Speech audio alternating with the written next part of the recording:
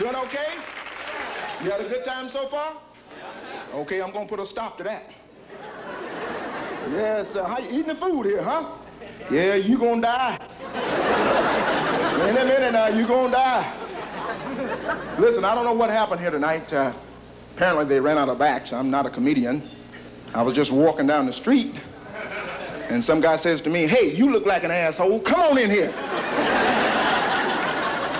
Is that how y'all got in here too? It's a crazy world. I'm gonna do y'all a favor. I'm gonna stand back just a little bit. You know why? Because we performers have a tendency to spit. Really, sometimes I see people down front. hey! What the fuck going on up here? Give me a raincoat or something up here. He's spitting all over me. What the hell is this?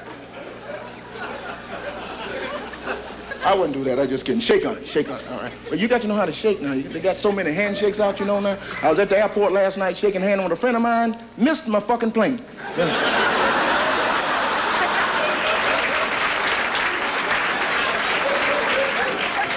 So how y'all doing over here in these shitty seats?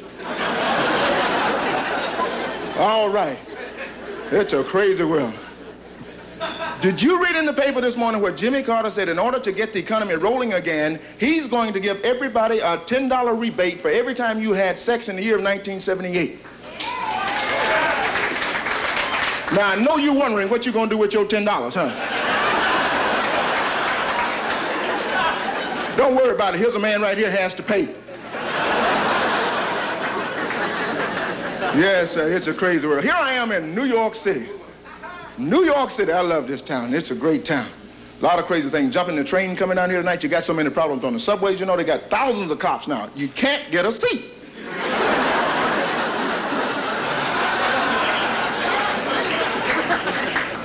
and I'm running around here in New York, and I tell you, I, am glad to be here tonight. I really am. Big traffic jam up on Lexington and 34th. A hooker fell off her shoes. But don't worry, he didn't hurt himself. No, he didn't hurt himself. It's a crazy world. I did, a I did something very stupid the last, thing I, last time I was here in New York. You know what I did? I went to Bloomingdale's and did my Christmas shopping. You want to save some money next Christmas? Don't buy nobody nothing. That's right, don't buy. I say that every year and always wind up spending 10 or $15. I went to Bloomingdale's and I bought some underwear for $9. That's right, I paid $9 for some drawers. Now, I know you're saying for $9,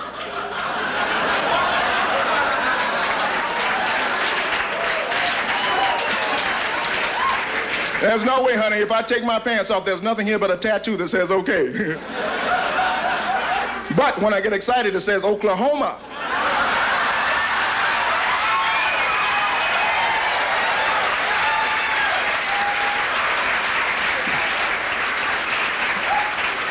Oklahoma City.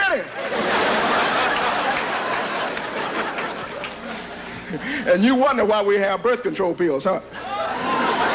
so, but I did. I bought the underwear for Bloomingdale's. Nine dollars, boy. I know you, like she said, I should be wearing them outside my pants, right? Can you imagine going home with your girlfriend, she wants to make love? You want me to take these off? No, baby, we got to do something else. I paid nine dollars for these. I only paid five for you.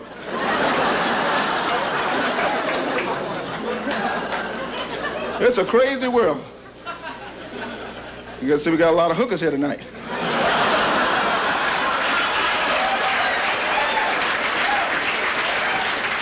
But that's why I'm different than most comedians. I'm different. I like a little, I do joke sometimes to get a little boo or something like that, a little sis or something like that. So I do. So right now, why don't everybody come on give me a real good boo?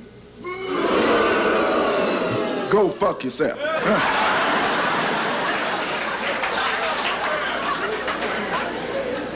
I'm different, that's right. Comedians come out here, they try to establish a rapport with you, ask you questions like, where you from? Where you from? Where you from? I could give a shit where you from.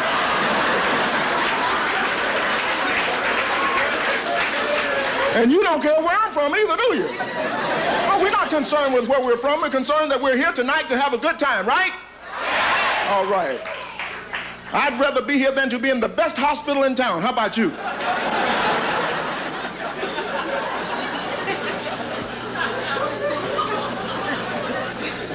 This man is just as happy as if he were in his right mind.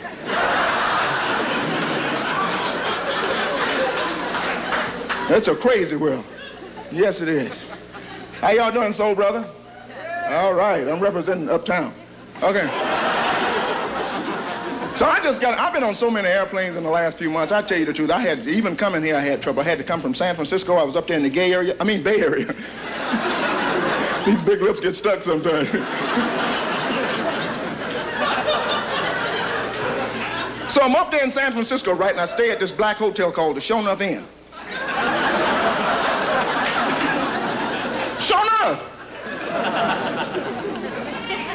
And you see, I'm up there, and so I had to jump this airplane. I come out here on Teeny Weeny Airline, right? TWA. then I get here, I got to go to Scranton, Pennsylvania, right? When you get to, if you go to Pennsylvania, what airline you got to take? Allegheny. You ever fly Allegheny?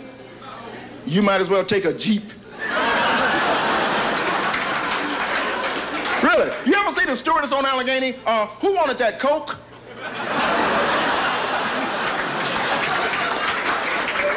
Allegheny's flight 586 is now boarding at Pier 52. You know, when it gets real smoke on Allegheny, I just roll my window down a little bit, you know.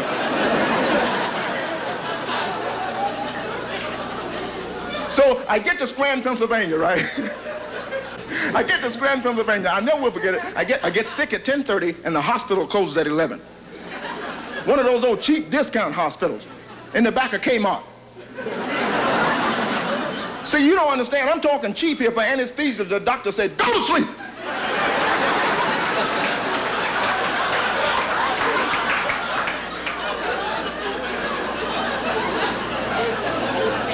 So we finished that, then we go out for dinner. We went to Howard Johnson's for dinner, right? So I get to Howard Johnson sitting there eating special. Tuesday night, all the fish you can eat for 259. So I thought that was a pretty good deal. I even told the manager, this is a pretty good deal, all the fish you can eat for 259. But what you should do, you should have all the chicken you can eat for 259. He said, we used to, but niggas was coming in from Chicago. 747s in the parking lot and shit.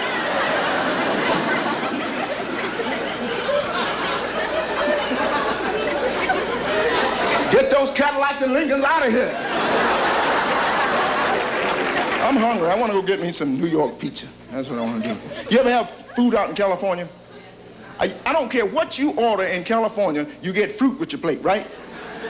I order a pizza and I got fucking orange slices and shit. Uh,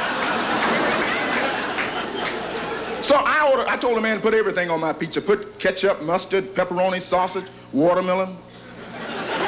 Put everything on there. He said, how would you like that, Chicago or New York style? I said, give it to me New York style. So he threw it in my face.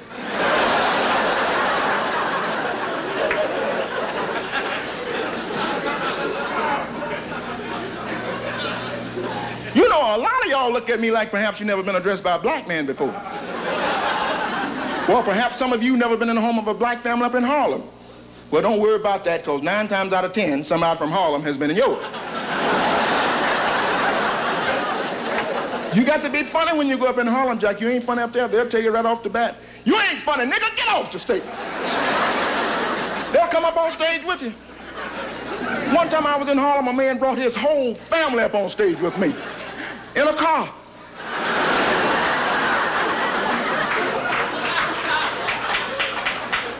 Then we did this show in Harlem. I never will forget it. We did this show in Harlem. It was on Father's Day. I think it was Father's Day, which is the most confusing day in Harlem. So.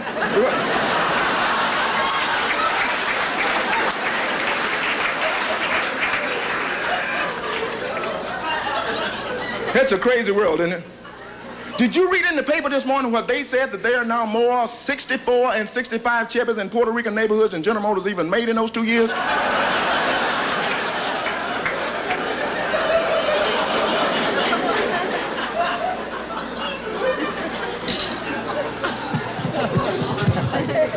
It's a crazy world. It's a crazy world. Say what? Unknown coming. No, just be the unknown niggas.